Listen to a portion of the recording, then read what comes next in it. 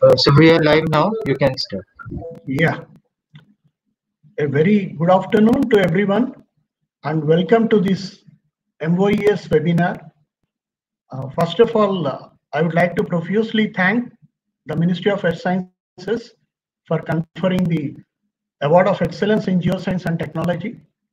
And I take this occasion uh, to remember my teachers who inspired me to come this far, my parents who encouraged me, my research scholars, my collaborators, without which this would not have been possible, and also scores of students and my well-wishers who encouraged me ever since. I also thank MOES for giving this opportunity to share the research findings which uh, uh, I have been involved in since last two and a half decades with the audience.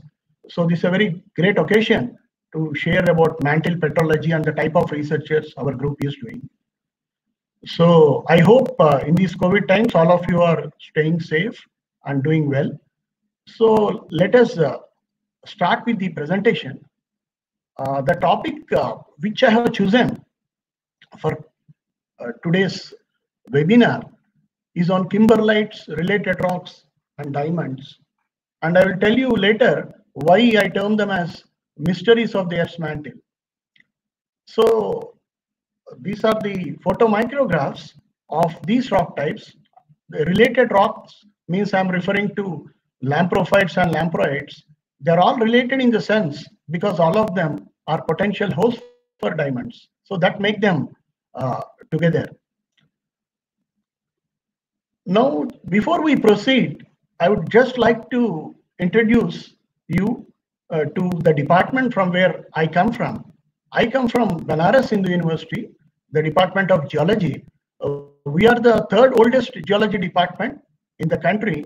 Only last year, we have celebrated the centennial year, and the details can be found in the Geological Society of India uh, publication of December, where the success story of 100 years has been narrated.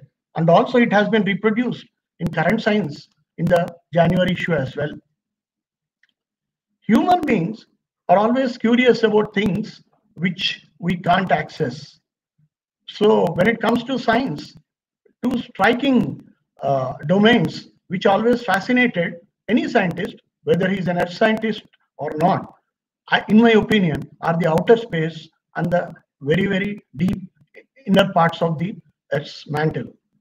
So because we are permitted only to see things as long as our eyes can take us. So if we want to image things which are below the surface of the earth, then we need to depend on other methods or other proxies. Geophysics is a very powerful tool which has emerged in the middle part of the last century, where we use various uh, techniques like magnetic seismics or magnetotellurics and gravity techniques to probe what lies below there. So if today, even we, if we ask a 10th class student, he is in a position to answer that earth is made up of crust, mantle and core and that is due to the geophysical knowledge because the deepest part in the earth from where a normal person can go is only up to say one kilometer, not more than that. So how to know about things which lie below there? Geophysics certainly is a very important tool which tells us about the things. But it, we should always remember that geophysics is an indirect technique. We use different physical techniques, uh, signals, and we extract the information out of them. The other way is to do experiments at very high temperatures and pressures and to reproduce or simulate similar uh, type of regimes which we can anticipate in the Earth's interior. So that is another way. But the third way is to get more direct information. Since we cannot go deeper into the earth, we can depend on the magmas which come from deeper parts of there. And today's talk is about such type of magmas which comes from more than 150 kilometers depth from the deeper part of the Earth's mantle and which while coming up, they bring up a lot of material along with them, which we call xenoliths because they are not crystallized from the magmas. That means they are not the liquidus phases. So the xenoliths are the rocks and xenocrysts are the mineral grains which are brought up. And as you will see that the diamond also constitute one such xenocryst which has been brought up by these magmas. So my talk, uh, I have divided into these sections. Initially, I would be introducing to what Earth's mantle is made up of and its importance. Then I will briefly introduce you to kimberlites related rocks and diamonds in next 15 minutes. Then I would be taking four case studies where our research group has been very, very actively involved and contributed in understanding the geodynamic evolution of the Indian shield.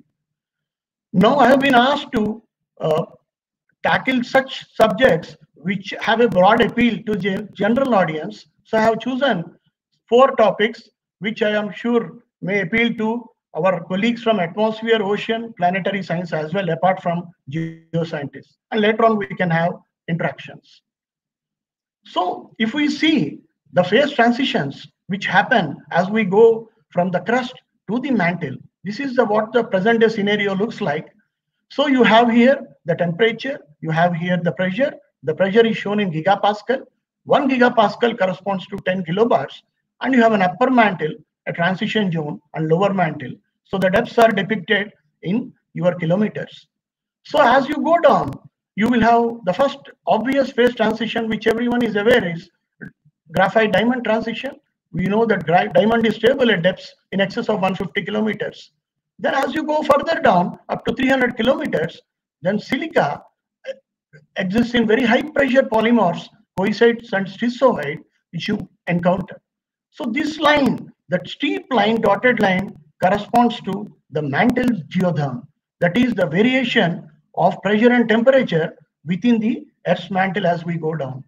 So, so many phase transition happen depending upon the temperatures and pressures. So your olivine, an orthorhombic mineral, system crystallizing mineral, gets converted into your spinel type of form, which is an isometric form. Then you have phases like wadsleyite, ringwoodite, which we are going to discuss later, which start appearing. And finally, you are left with different types of periclase, Mg silicon bearing perovskite and calcium silicon perovskite. Even the garnet, which is one of the most abundant minerals in the crust, the garnet will change over to a very high pressure form called majorite, which is nothing but where your silicon will exist in two coordinations. Apart from the tetrahedral coordination, you also find an octahedral coordination, which is unique to majorite and your OPX will, will, be, will be stable up to this depth, then comes your high pressure CPX. Now, how do we know these phase transitions happen? One way is to do the experiments and to uh, create these phases. But the second way is to find them as inclusions in the natural material, which we are going to discuss. So this is the cross section of a uh, any Archean craton. So craton is an area which has been stable since last 2500 million years. So given the age of the Earth, 4.5 billion years, so the craton uh, got stabilized around 2.5 billion years. So all of you are familiar with the term lithosphere. Lithosphere includes the crust plus uppermost part of the mantle. So that uppermost part of the mantle can be a continental lithosphere or it can be an oceanic lithosphere. This is a cartoon actually showing a typical plate tectonic regime because everything on the surface of the earth is controlled to great extent by plate tectonics. So here you have a subducting plate. So the plate tectonics is basically a phenomenon which is confined to the lithospheric domains. And you are all aware that the plate with higher density is the oceanic plate and its subducts and the continental plates are much less denser than the oceanic plate and they float on it. So you have an asthenosphere which is confined to the lower parts of the lithosphere. Now, that part of the lithosphere mantle, which is coupled with the continental crust, we use the word continental lithospheric mantle. And it is also called subcontinental lithospheric mantle. And it is very different from the lower parts of the lithospheric mantle, like here. So why it is different? Because our crust, which we are seeing, has been generated by the melting of the mantle itself. So in the process, lot of material, lot of elements got migrated, incompatible elements, and they are confined to the Earth's continental crust. So in the process, the upper part of the continental lithospheric mantle has been extremely depleted in such elements. But lower part of the lithospheric mantle is much fertile. So below that you have your asthenosphere, which is a convecting. Heat transfer here takes place essentially by convection, whereas in the continental lithosphere, the heat transfer takes place by conduction. So the SCLM or subcontinental lithospheric mantle beneath the ancient cratons like our Dharwar craton, Bastar or anywhere the craton in the world is dehydrated. It is a depleted peridotite because mantle is supposed to have a composition of a peridotite and it is much buoyant relative to the asthenosphere and it is also strong. Normally, the point, the line which separates the continental lithospheric mantle and your asthenosphere is called as lab, lithosphere asthenospheric boundary. So where to place this line is a debated issue in geoscience. Now seismologists have their own seismic waveform functions and tomographic studies. They place lab at certain depths, whereas petrologists and geochemists, they impose more faith on the equilibration of the mantle xenoliths, which are carried by the kimberlites and those magmas. But irrespective of that, the lithospheric roots, this is what is known as continental lithospheric roots of the cratons actually move along with the cratons as the plates move. Now the thickness of the lithospheric mantle can vary. In some cratons, it will can be go up to 350 kilometers, as in South Africa. But in cratons like North China, the continental lithospheric mantle is only 80 kilometers thick from here to here. So that means during the evolution, at some in the geological evolution, these roots of the lithosphere were lost at some of the parts. So characteristic of the rock types which I am talking about, they are all continental intraplate magmas. They have never been encountered in the oceanic plates. They're all small volume magmas. Small volume means I'm referring it with respect to your basalts, which are much larger volumes, either at mid-oceanic ridges or even continental fed basalts. They're all potassic and ultrapotassic. So that is the rarity of these rocks because they are coming from great depths, but that depths are supposed to be lacking in potassium because potassium being a highly incompatible element got extracted during crustal formation. So the mantle is supposed to not to have any potassium in it because our mineral olivine cannot have a potassium or your pyroxene cannot have potassium. But despite that, these rocks are extremely potassic and ultrapotassic and added to that, they contain lot of your volatiles like carbon dioxide and water apart from being alkaline. They are extremely enriched in trace elements compared to any many of the terrestrial rocks. So they are also important repositories for the trace elements. So trace elements means I am referring to those elements which are present in the Earth's crust, which are present in your parts per million. And they are generated, all these rocks are generated at depths more than 150 kilometers. We know that because many of them contain diamond and we know diamond is stable at that depth. And they, while coming, they bring up lot of xenoliths either crustal material or mantle material along with them. And thus they constitute windows to the Earth's mantle.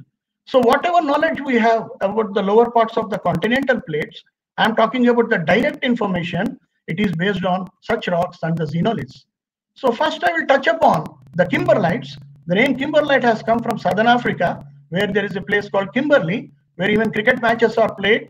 Many of you might have watched. So Kimberley is a type area for kimberlite where two types of kimberlites have been found in the Kaapvaal Craton of Southern Africa, which are known as Group 1 and Group 2, which are different in their mineralogy, geochemistry, and isotope.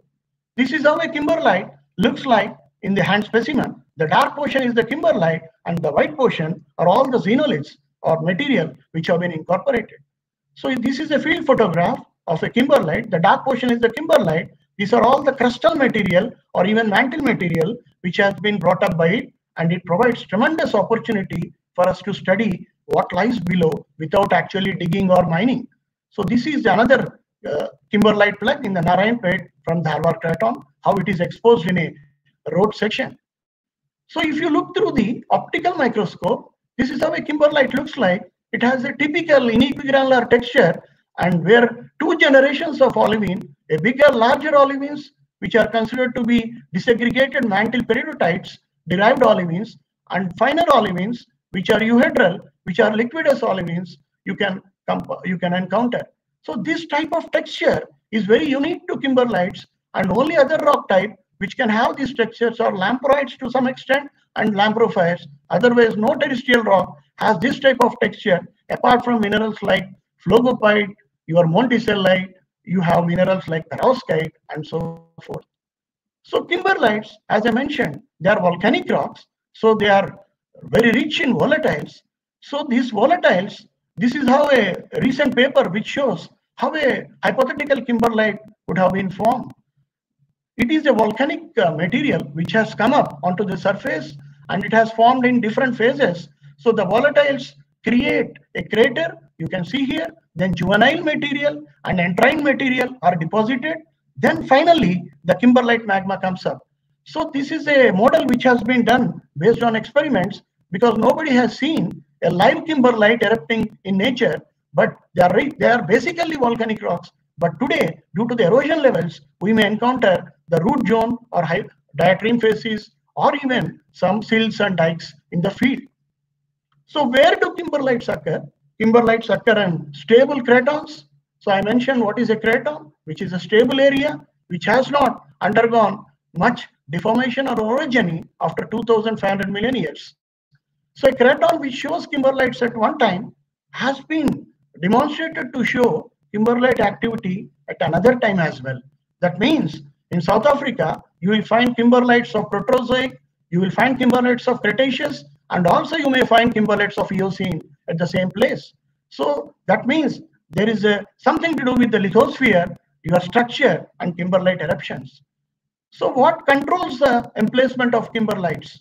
The kimberlite emplacement is controlled by deep-seated faults and weak zones which we find on the surface.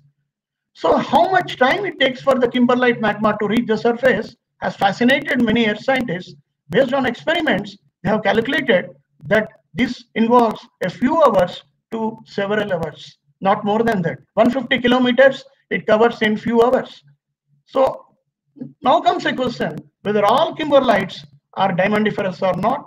Of the 5000 kimberlites known, only 10% are diamondiferous and even in them, only 5% are mineable, but still it is worth exploring them. So this shows, this is a map which shows the global disposition of the kimberlites. It is from a 2008 paper in EPSL by Tappe. So this shows that kimberlites are confined to ancient cratons. This is an Indian shield. We are going to discuss it later, where plenty of kimberlites are there. Then your South Africa, the type area, and all these areas which are marked by the dots correspond to the cratons. So in England, uh, there are no kimberlites there because there is no cratonic lithosphere there. So in Himalayas, no kimberlites are expected because no craton has been established. It is much younger. The domain is much younger. It was Tom Clifford in 1966 who did his PhD at University of Leeds. He came up with a important observation that primary diamond deposits, that is primary diamond bearing kimberlites are confined to the cores of the cratons. So if you go towards the center of the craton, you can expect the diamondiferous kimberlites. So what's the relation between the core of a craton and the diamonds? You know, I have shown you a, cartoon before. A craton always grows from the core and it enlarges towards its peripheries. For example, in the Dharwar craton, it has the craton is supposed to have been nucleated from Gorur gneiss, which is the oldest dated rock. Likewise, in the Bastar craton, you have Seraikela gneiss from where the craton has grown because that uh, gneisses show the oldest ages. So this is an observation which has been made by Clifford, and even today it is more or less it is it remains uh, uh, valid. Now we are coming to the second rock type, which is the lamproite. Lamproite, for many years, kimberlite was the only rock type which was thought to be diamondiferous as a primary host. But it was Rex Prider, a professor of University of uh, Western Australia, in 1940s, he suggested that lamproites could be potential host rock for diamonds. But for nearly 50 years, nobody took his claims seriously. But later on, when Rio Tinto company discovered diamonds in the Argyle pipe, it turned out to be a lamproite. Then the scientists looked for Prider, who was by that time 85 years, and he was invited to inaugurate a conference and they felicitated him. So lamproites, like kimberlites, you can see these are some of the lamproites from the Dharwar craton, which are called Krishna lamproites. So they occur as dikes, they occur as plugs, what, and they also occur as uh, small, small vents. So this is another lamproite, which includes a very well-known Kadapa basin. Tadpatri shale belongs to the lower formation of the Kadapa basin, lower Kadapas. So this lamproite here intrudes the Kadapa sediments, intrudes the cuts across the Tadpatri shale.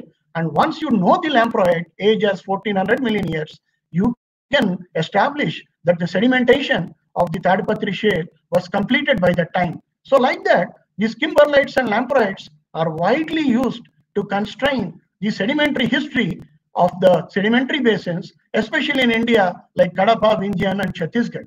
So mineralogically, lamproites are characterized by very exotic minerals like titanium phlogopite, titanium potassic richterite, iron sanidine, alumina poor diopside, and you can see some exotic names like wadeite, devite, shcherbakovite, which are titanium silicates.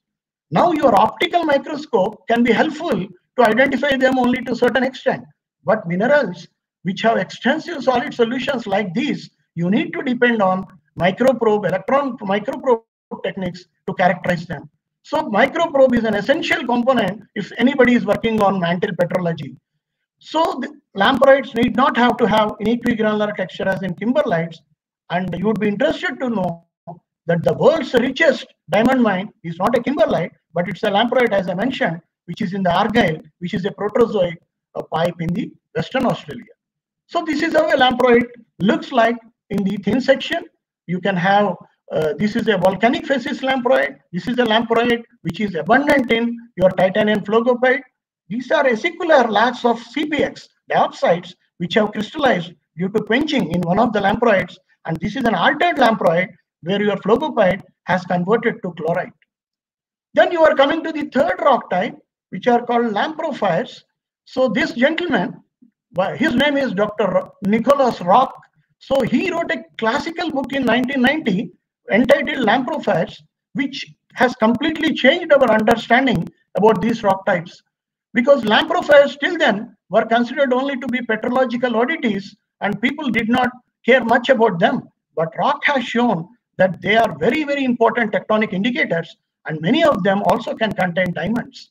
So these are some of the lamprophyres you can see in the field. These are the lamprey from Chota Udaipur area, northwest India. So they occur as dikes. And the beauty of these rocks is they contain porphyritic texture and you can appreciate these phenocrysts in the hand specimen itself. You can see your amphiboles, you can see your olivines, uh, crystals in the very, very big scale in the field itself.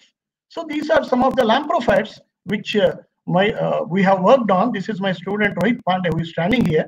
So these are some of the lamprophyres uh, where you can appreciate the porphyritic texture in the hand specimen so that in the field you cannot get confused it with a dolerite or another rock type. So lampros means shining or glistening because of the presence of phases like amphibole and biotite. So in a thin section, a lamprophyre looks like this. It has a characteristic your porphyritic texture. These are all liquidus phases. You have glomeroporphyritic texture here, or here you have a zone biotites, and also you have here an amphibole here. So the phenocrysts are made up of mafic to mafic hydrosilicates, and whereas the ground mass is essentially made up of plagioclases. And plagioclase can never occur as a phenocryst in lamprophyres because of their volatile rich nature. The volatiles will not allow the crystallization of the plagioclase. Experimental studies have shown by Bowen and Schairer that the plagioclase crystallization is restricted in the presence of huge volatile content. So this is how you can identify lamprophyres in a thin section. So these are the mantle-derived xenoliths, which uh, we can encounter in the kimberlites. You can see this is a mantle-derived xenolith. So how you can ask me how I know it's a xenolith? Of course, by looking at it, I can say it because it has developed a disequilibrium texture. Because this is the kimberlite, this is a xenolith. As the xenolith was incorporated in the kimberlite magma, because it was not a liquidus product, it reacted with the melt and that reaction is uh, preserved as a disequilibrium texture. And of course, after making a thin section, you can see it under microscope. So this is a laterite xenolith which has been recovered from a kimberlite. You can see this is a xenolith. Now, if you have phases like clinopyroxene, orthopyroxene, and also you have a garnet together in equilibrium, then they constitute excellent geothermobarometers. So if you can, there are well-known, well-calibrated geothermometers and barometers, and based on their uh, chemical composition measurement by EPMA, you can establish the geotherms. So as I mentioned before, geotherm is the variation of pressure and temperature as we go down in there. So you can reconstruct the geotherms if you have suitable xenoliths with you. For example, we have done such an exercise a decade ago uh, here, a paper with uh, Nitin Karmalkar, Dalim Paul, Raymond Duraiswami and all. So this is the geotherm for the Vajrakarur, that is a southern Indian geotherm, kimberlites. These kimberlites were erupted around 1100 million years. And you can see here, the depth range from which the xenoliths were recovered are going up to even 200 kilometers. So based on this, we can say that the Indian lithosphere thickness during the Proterozoic, when these kimberlites were erupted, was at least 200 kilometers thick. Now, these are the xenoliths which have been derived from the spinel lherzolite nodules from the alkali basalts of the Western India. You can see here, the geotherm here is much shallower depths, 50 to 60 kilometers, which is expected because this domain comes under the Kutch Rift system. So you have a spinel lherzolite xenoliths which are abundant, but here you have right from spinel, you have even garnet lherzolites. So by this, you can reconstruct the paleogeotherms in the time uh, which we cannot go back. So this is a question which uh, many students and even general geoscientists are interested in. What exactly is the relation between diamond and kimberlite? If you see the old textbooks of 1970s, diamond was considered as a phenocrystalline kimberlite. Phenocryst means crystallized from the kimberlite merit. But radiometric dating of the diamond inclusions has completely changed our perception. In South Africa in 1980s, scientists have dated the diamond inclusions and they have found that the inclusions are of Archean age, whereas the kimberlite, which contains the diamond, is of Cretaceous age. That means diamonds may be foreign material in kimberlites and maybe they did not crystallize. So today we know certainly that diamonds are xenocrystalline kimberlites because lot of dating techniques have shown them to be so. So this is a natural diamond. You are seeing a mineral inclusion here. This is a chrome diopside. This is an etched surface. So this diopside can be dated and you can know the age of the diamond. You know, diamond cannot be dated directly because diamond is nothing but a carbon. But the inclusions in diamond, if you can date, because many of them are silicates, then you can know the age of the diamonds. You can see here on the left side are the names of the kimberlites, the ages of the diamonds which have been recovered from them, and you can see here age of the kimberlite. So the Cretaceous kimberlites having Archean diamonds, Proterozoic kimberlites also having Proterozoic diamonds, but they are older than the age of the kimberlite. So the relation between kimberlite and diamond is as simple as a passenger going in a train. Train is a kimberlite and diamonds are passengers. So a train can be full of passengers only if there are passengers on the platform. It's as simple as that. So another question which comes into mind is whether diamonds are formed only in Archean or Proterozoic. So this is the geological time scale from the age of the Earth to 4.56 billion years to today. Of course, uh, the dinosaur extinction happened at 65 million years here. You can see the diamond inclusions have been dated to be Archean. They have been dated to be Paleoproterozoic. They have been dated to be 1.6 gigayears and they have been dated to be 650 million years and they have also been dated to be 90 million years that is Cretaceous. So diamond formation is a continuous process which has been happening in the Earth's uh, mantle through time. So from where diamonds have been sourced from? So diamonds have been sourced through all these provenances. Diamonds have been sourced obviously from SCLM. This is where your graphite diamond inversion curve is there. This is the continental lithospheric mantle. So diamonds have been generated from here. Diamonds have been reported from deeper mantle.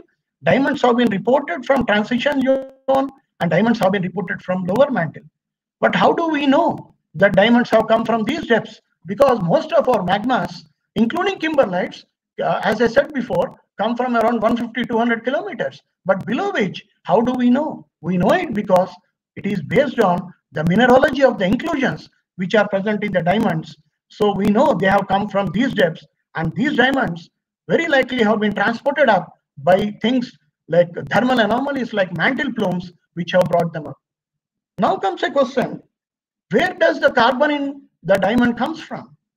So scientists have done lot of carbon isotopic studies to settle this issue. So the diamonds in general in kimberlites can be of two paragenesis.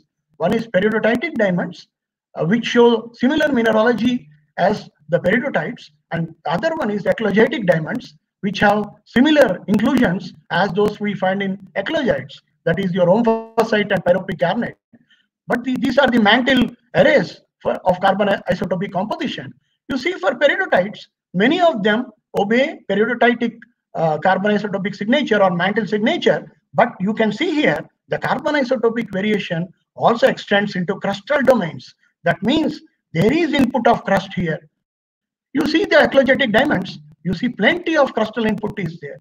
So that means this demonstrate that there has been crustal input in the diamond genesis apart from the mantle contribution. You know, what I mean to say is the carbon which we are getting in, which, which is leading to the formation of diamonds, majority of it has come from the Earth's crust itself.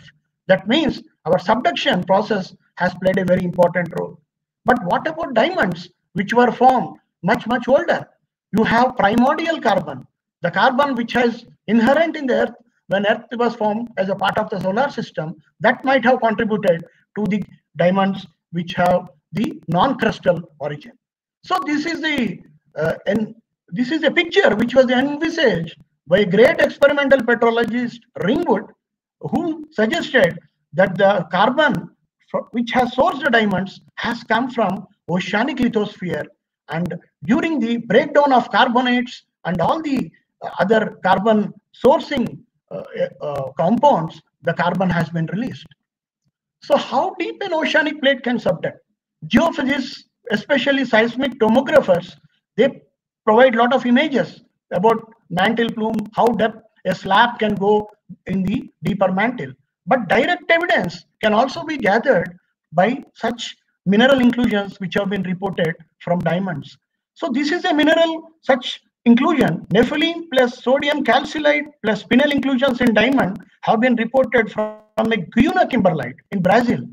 The beauty of it is to get these phases at the depths, you need to have them being generated by the breakdown of extremely high pressure minerals which have been stable at depths of 800 kilometers. That means the oceanic lithosphere, that is your Pacific plate, may be going to the depths of at least 800 kilometers when the kimberlite was erupted or the mantle plume has brought the diamonds up and kimberlite has subsequently erupted.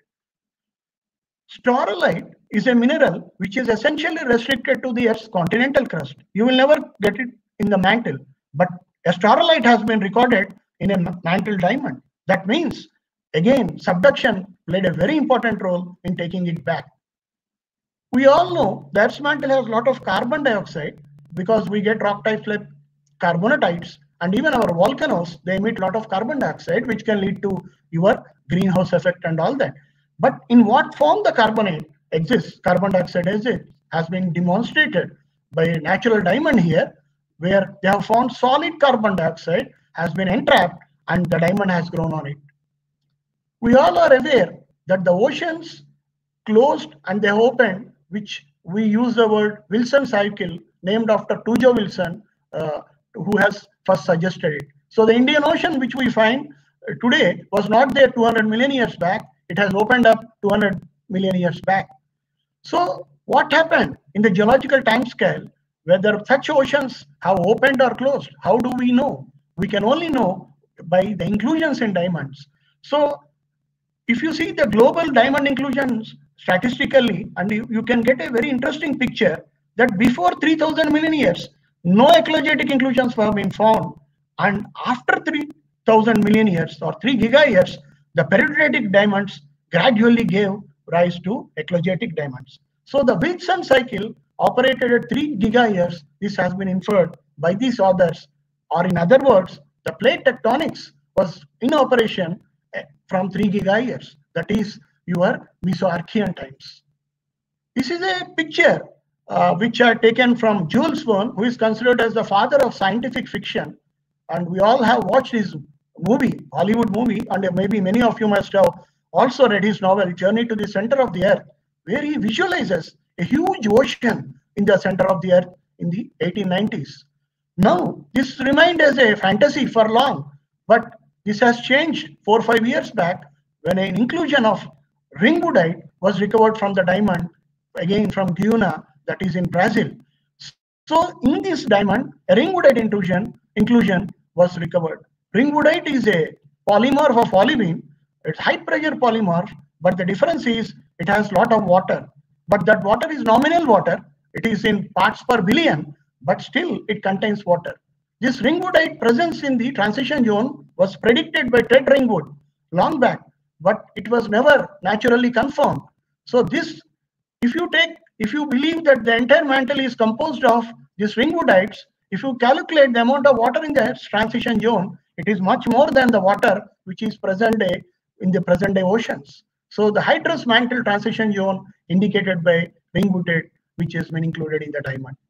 So the point is, what I want to make is that mantle is extremely complex, complex domain. It is not simply crust, mantle, and core. You have here upwelling supermantle plumes. You have here the subducting slabs, which the Earth's mantle constitute the graveyards for many such slabs which have been retained there. There is a change from highly reducing environment to the highly oxidizing environment, slab rollback, channel flow. So through model the Earth's mantle is extremely difficult, unlike we can model the uh, your oceans or atmospheres. So we need to depend on integrated studies like geochemistry, your mineralogy, your geophysics, and then only, and of course the experiments, then only we can constrain the, uh, we can model the processes which happen in the Earth's mantle. Now I am coming to the case studies wherein our group has contributed in the last few years. First, I would like to touch upon the tectonic trigger for the 1.1 gigayears Mesoproterozoic kimberlites and related rocks. Earth is a very dynamic planet. It's not a dead planet because often our earthquakes and volcanoes remind us time and again that Earth is alive and is kicking. But the configuration of these continents which we see today was not the same before. A number of times Earth's configuration has changed. But here we are going to Proterozoic, which is in the very initial parts of the Earth's history, where at least three supercontinents have been recognized based on dating, paleomagnetism, and based on disposition of the orogenic belts. One such supercontinent is known as Columbia, which amalgamated around 2.1 to 1.8 gigayears, and it has been separated at 1.5 to 1.1 gigayears. So the tectonics, plate tectonics, or the Columbian tectonics is also referred to as stagnant lid tectonics because it was huge. The plates were much bigger and also the convective stresses were much more than the modern day plate tectonics. So less horizontal motion was enjoyed by the Columbian plates. Then the, after the Columbian breakup happened, another supercontinent has formed called Rodinia, which assembled around 1.1 gigayears and it has separated again at 0.75 to 0.65 gigayears. And finally, you have another supercontinent, Pannotia. But our talk is confined to the first supercontinents, Columbia and Rodinia. So first I will be showing the paper which we published a couple of months ago with my student Ashutosh Pandey in Lithos. What we have suggested is the supercontinent transition served as a trigger for the diamondiferous kimberlites and the related magmatism in southern India. So if you see the geological map of India, these are the Dharwar Craton, this is the Bastar Craton. This is known as the Eastern Ghat Mobile Belt. This is a very special mobile belt, which is a metamorphic belt. It is a polymetamorphic belt and it has a protracted metamorphic history. This belt was a part of Antarctica for several million years and around 1.1 gigayear time, it got attached to the Indian shield. Now, this is the Dharwar Craton. This is the Kadapa Basin, which is located here. Here you find lot of dots. The rounded dots they all represent the kimberlites, your lamproites, and also some lamprophyres, which are all 1.1 gigayears, and many of them are diamondiferous. Now, if you look at the picture, the most striking, there are two main important striking aspects. The first thing is the, the lithosphere in the western Dharwar Craton, even though it is as good or as conducive for kimberlites, no kimberlite was ever found. The second striking aspect is this diamond corridor, as we call, absolutely parallels the Eastern Ghat mobile belt. So we explored an idea whether this Eastern Ghat mobile belt, which was involved in a collision tectonics, has generated these diamondiferous kimberlites or not. That was our objective. So for that, we have gathered a lot of the isotopic information which is available, ours and also by the others. As you can see here, the kimberlites are sourced from, this is a plot showing strontium and neodymium isotopic space signatures. The kimberlites are sourced from a depleted mantle, whereas the lamproites are coming from highly enriched mantle, which are characterized by negative epsilon. Likewise, in terms of hafnium isotopes and neodymium, the same picture is repeated. The lamproites and kimberlites are coming from distinct sources. So kimberlites are showing more affinity to an asthenospheric signal like OIB or more, whereas lamproites and your orangeites, which are group 2 kimberlites, are showing different signatures. Now, many people, many scientists have suggested the presence of a mantle plume during that time, which gave rise to the kimberlites in the Bastar and Dharwar craton. So we have gathered all the information, age information of these, and you can see here that there was a prolonged kimberlite magmatism at ranging up to 130 million years compared to three large igneous provinces which we had taken here. This is the Warakurna large igneous province, this is a Keweenawan large igneous province. This is the Umkondo large igneous province. The ages which we have taken. Why we have taken these large igneous provinces? Because these provinces, this Umkondo in the Africa, Keweenawan in your Canada, North America, Warakurna in the Australia, they have been established to be related to mantle plumes. So we have found there is an absence of linear age progression and also from the xenolith studies, it can be seen that the Dharwar and even the Bastar Craton xenoliths have sampled much cooler ambient mantle than the mantle plume derived Cretaceous kimberlite mantle. So the potential temperature of the mantle was much cooler compared to the plume affected areas. Now if you see the supercontinent of Rodinia, several scientists have given several reconstruction fits. But in all these fits, the, their names are shown here. But in each of these fits, you can see this is where India is there. This is where you will find India. The Grenovillian orogenic belt, that is Eastern Ghat belt, is located very close to in all these fits. So Grenovillian orogeny was a worldwide orogenic event which was experienced in the Canada, Grenville province of Canada, and its equivalents are found globally. So what we have done is we have taken the age information available for uh, the Precambrian kimberlites numbering 278. This is the this gray area corresponds to the Columbia assembly and breakup. This uh, uh, Grodinia breakup uh, and assembly. You can see here that the at the as the Columbia supercontinent disintegrates and as its uh, Rodinia uh, appears, you will find a statistically significant spike of the kimberlites. And we have compared that with the paleomagnetic information also, because this is the paleomagnetic information which shows that there is abrupt change in the velocities of the plates from the Columbian tectonics to the Rodinian tectonics. We have also taken zircon isotopic composition of the various uh, zircons which are present from 3000 gigayears to 500 million years. As we change from Columbia to Rodinia, you find significant spikes of the zircons.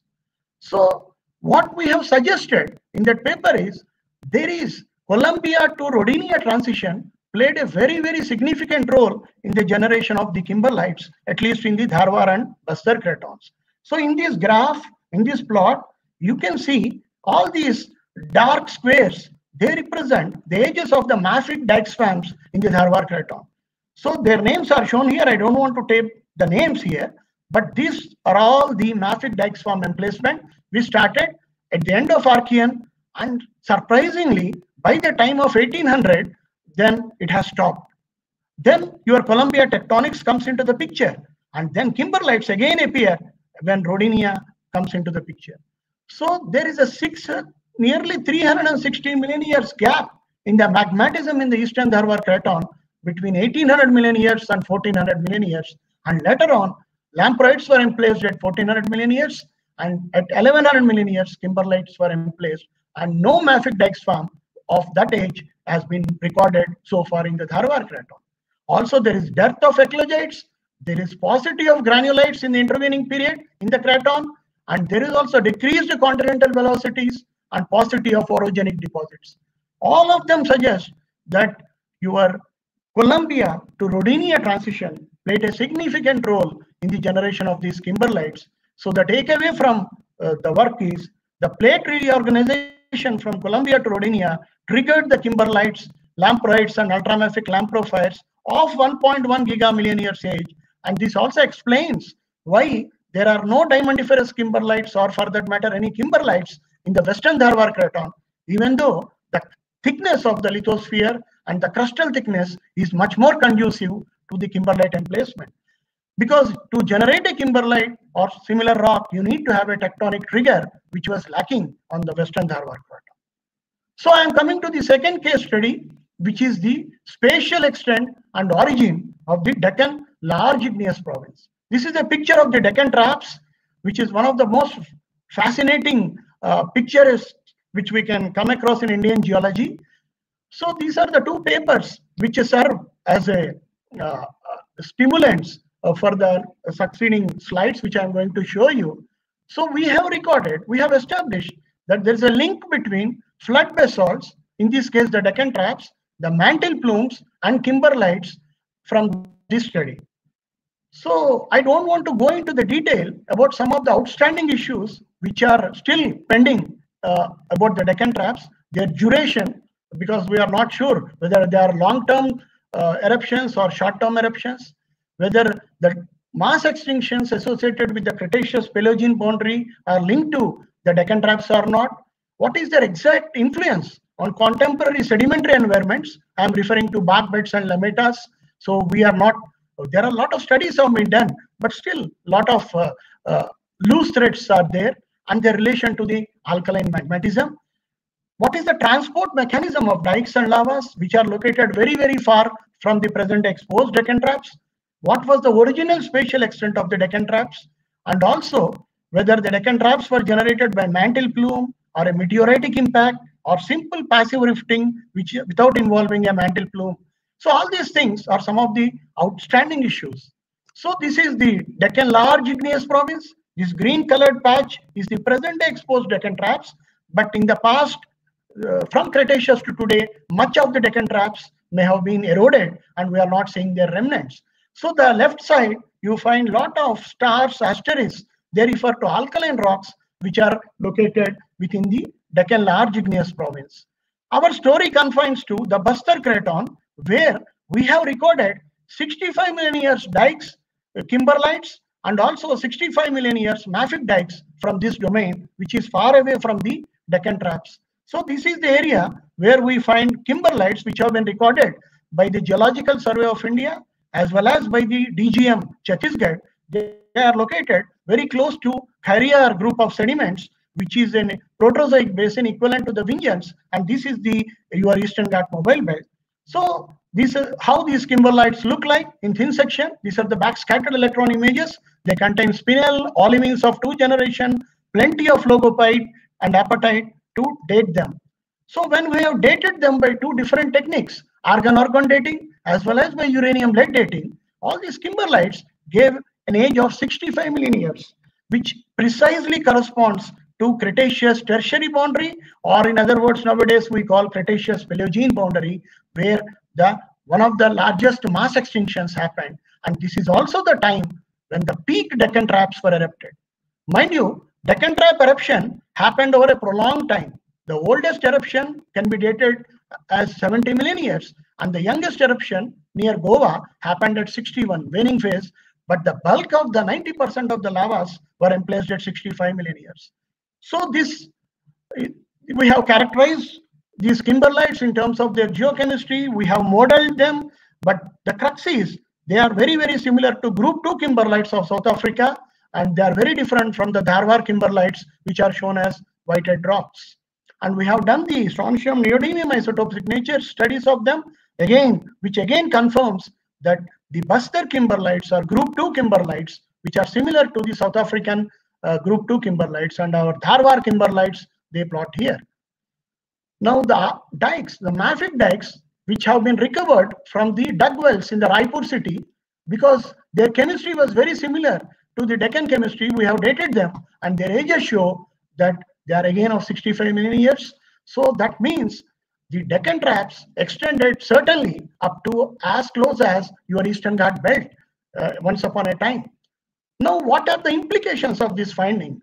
This is the a picture from a paper by Kumar et al. of NGRI, where they have done seismic receiver function studies and they have published. And they said that the lithospheric thickness of the Indian shield as on today is 80 kilometers, whereas the lithospheric thickness of its Gondwanic counterparts, African plate, your Australia, your Antarctica and Australia, they are all much thicker. But the kimberlite xenoliths of Mesoproterozoic, which I discussed before, they showed that in Proterozoic, Indian lithosphere thickness was at least 200 kilometers. So you see, the geophysics can tell you things when the measurements are made today. It cannot tell you what happened in the past. You need to infer it. Now, this is what they have explained is as the Indian plate got separated from its Gondwanic counterparts, it passed on at least three hotspots like Kerguelen mantle plume, uh, hotspot at 117 million years, Marion hotspot at 90, Reunion hotspot at 65, and during the process, it has lost its roots, it became buoyant, and it re resulted in its supermobility. So, but our study shows that the diamondiferous roots of Indian shield were intact to 65 because all these Bastar kimberlites are very, very highly diamondiferous. So your lithosphere was certainly more than 150 kilometers and supermobility of Indian plate in Cretaceous cannot be related the loss of the roots during Gondwana breakup that is 200 million years.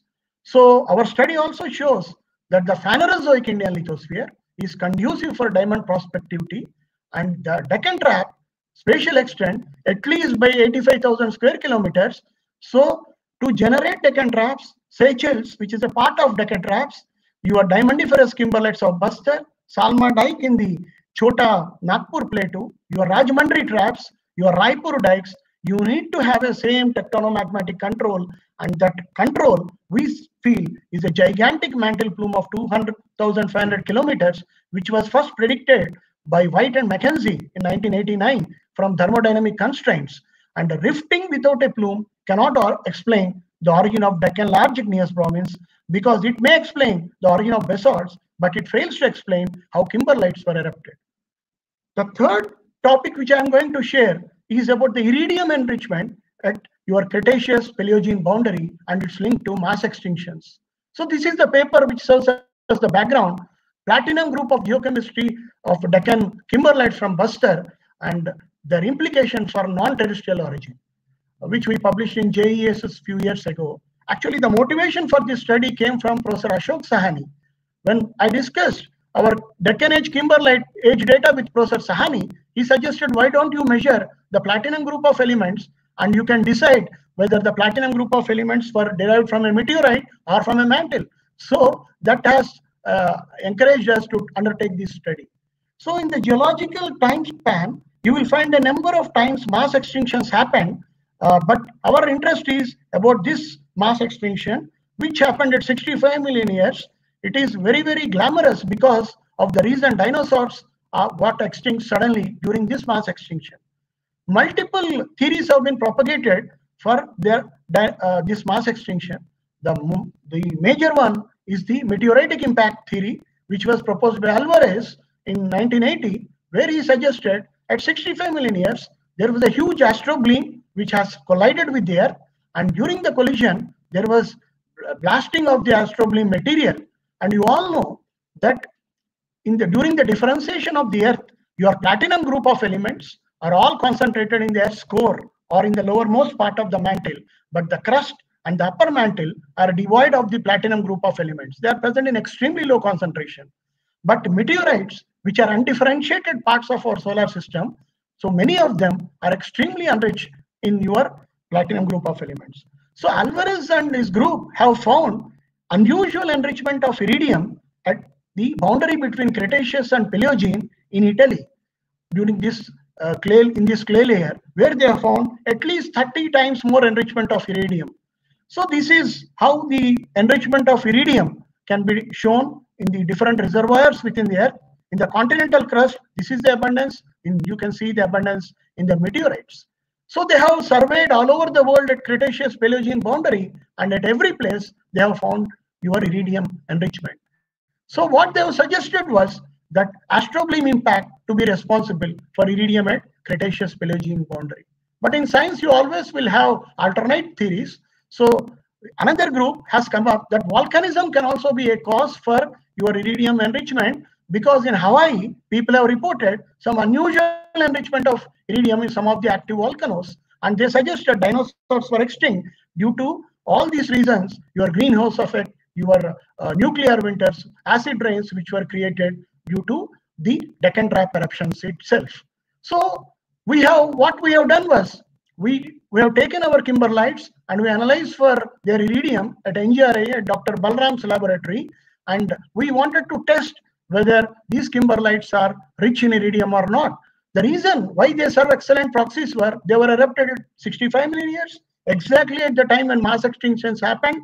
They were formed, they are the deepest proxies which we can gather, and they are least fractionated of all the magmas at Cretaceous Paleogene boundary, and they are well preserved. You get crater facies also, so that you cannot argue that iridium got dissipated away. But when we measured the iridium platinum group of elements and we plotted, they are as similar to any other kimberlites in the world, irrespective of their age. So what we confirm from this is the iridium at the Cretaceous Paleogene boundary was not sourced from the mantle. That was certain, but maybe by default, the extraterrestrial source looks like a likely choice. So this is what we inferred. Coming to the last uh, Cretaceous uh, case study, I'm going to discuss about Cretaceous kimberlite event from the Dharwar Craton of southern India. This is with my PhD student, now a faculty at Pune University, Ashish Dongre. These are the two papers which we published, which serve the basis for next few slides. We have recorded a 90 million years kimberlite event in the Dharwar, exactly in the same kimberlite cluster where 1100 kimberlites have been encountered.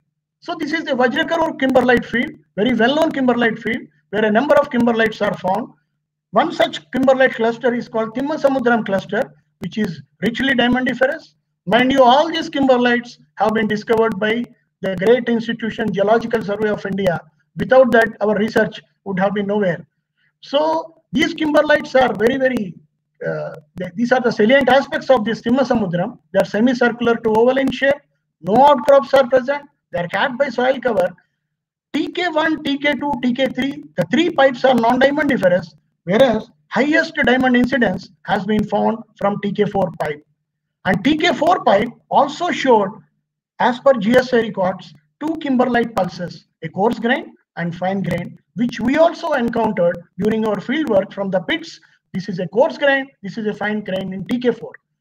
Now, in TK1 kimberlite, we have found two types of kimberlites you can see in a thin section scale, a very, very fine grain and very coarse grain. The finer grain is the microcrystic kimberlite. The coarser one is a macrocrystic kimberlite.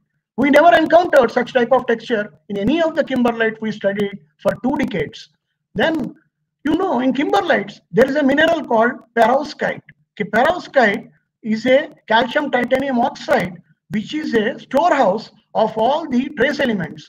So perovskite behaves as a very, very robust mineral. So like your zircon, because in granites and all, we use zircon to date the rocks because zircon can withstand temperatures up to 1000 degrees uh, because its closure temperature is very high. Perovskite also enjoys similar closure temperature. So in collaboration with Wu Fu Yuan, who is in Chinese Academy of Sciences, because no such facility was available in India, we have dated the perovskites in our kimberlites. So uh, in TK1, we got 1086 million years perovskites. In TK3, again 1100 million years proterozoic. But one population of perovskite in TK1 has given 90 million years of age. So we were very enthused. We are getting two populations of perovskite from the same kimberlite. Then we went back to our thin section studies. Then we realized that the two textural different, uh, texturally different kimberlites are nothing but two different pulses of kimberlites. So we were wondering whether our perovskites behaved as an open system uh, or not. To check that, we did scanning electron microscopic studies. All of them show the perovskites are pristine, euhedral. They did not behave as open system. We have measured uranium and thorium in the perovskites because they are most mobile of the elements and we compare them with the other kimberlite perovskites in Vajrakarur. They're all similar. So we were pretty sure that our perovskites behaved as closed system. So we have measured strontium isotopes in the perovskites. In TK1, uh, the group 2, that is the 90 million years kimberlite, gave a completely different strontium uh, signature compared to the other strontium isotope signatures of the other perovskites. We cross-checked it with the neodymium isotope signature for all the perovskites. Again, the 90 million years kimberlite has shown completely different signature compared to the other perovskites. And we cross-checked again with the whole rock geochemistry of the microcrystic kimberlite and the macrocrystic kimberlite. You can see here the trace elements are very different. That means their petrogenesis is very different. So how to explain this? Uh, so we know now that Indian plate has passed on a number of hotspots. This is the hotspot trail you can see here. But one such hotspot was the Marion hotspot. At 90 million years, Indian plate has passed on Marion hotspot this is the influence of the Marion hotspot. And during that time, the Madagascar got separated from the Indian shield. So how do we know? We know because uh, the shear zones in the southern peninsular India, like Moyar Kavari shear zones, can be traced into the Madagascar. Our Narmada Son lineament, Crawford has traced right across the Indian subcontinent into the Madagascar. So a lot of flood basalts have been generated in the Madagascar, but in India, their equivalents were not found. You see, these are the Madagascar flood basalts. They are all are 90 million years in age.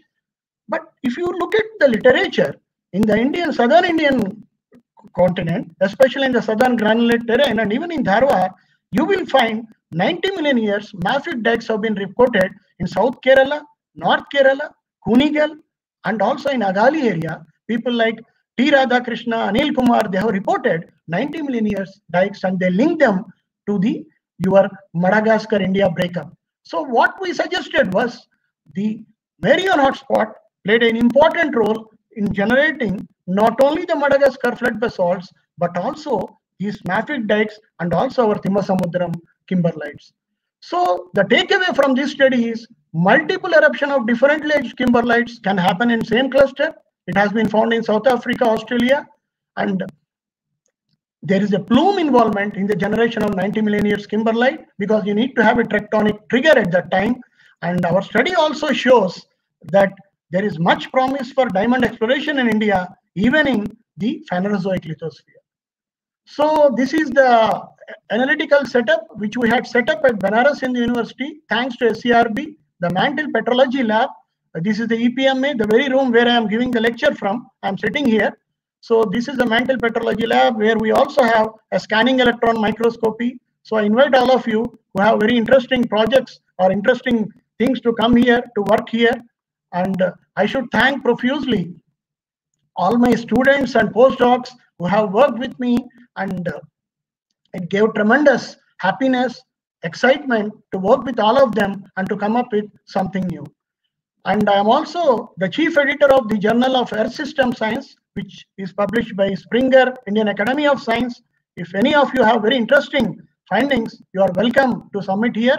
We have touched an all-time high of 1.43, 423 in this year, and we want to take it much beyond.